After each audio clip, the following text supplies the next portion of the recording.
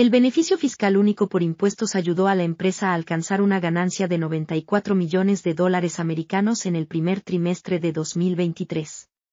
La plataforma de inteligencia empresarial MicroStrategy ha reiterado su compromiso con su estrategia de inversión en Bitcoin, BTC, tras obtener su primer beneficio trimestral desde 2020.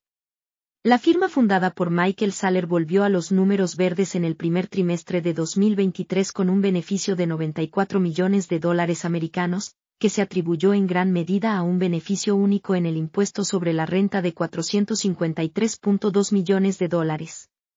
Fong Lee, CEO de la firma, explicó en el comunicado del 1 de mayo que la convicción de MicroStrategy en su estrategia de inversión en Bitcoin, BTC, es tan fuerte, como siempre, la convicción en nuestra estrategia de Bitcoin sigue siendo fuerte a medida que el entorno de los activos digitales continúa madurando.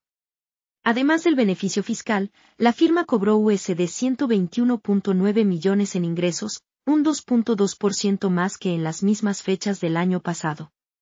Andrew Kang, director financiero de la firma dijo que la firma también logró reducir su apalancamiento mediante el reembolso de su préstamo de 161 millones de dólares americanos respaldado por Bitcoin del ahora colapsado Silverage Bank, en el primer trimestre. Reforzamos nuestra estructura de capital reduciendo el apalancamiento mediante el reembolso total de nuestro préstamo respaldado por Bitcoins.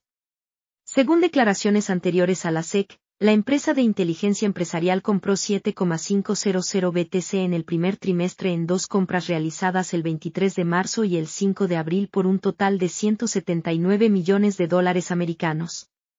La empresa posee ahora 140,000 BTC, que se compraron colectivamente a un coste medio de unos 29,803 dólares americanos.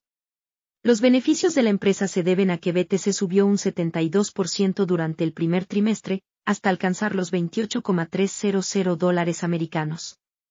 Con el precio actual del BTC en 28,100 dólares, MicroStrategy ha perdido un 5-7% de su inversión en Bitcoin. Sin embargo, la empresa estuvo en verde durante un periodo de tiempo el mes pasado cuando BTC se disparó a su máximo más reciente de 30,980 dólares americanos el 15 de abril. La firma de análisis de software comenzó a invertir sus reservas de efectivo en BTC el 5 de marzo de 2021, cuando compró 91,064 BTC, el 65% de sus tenencias totales en la actualidad. Sale reveló recientemente que MicroStrategy integró Bitcoin Lightning en su dirección de correo electrónico corporativo.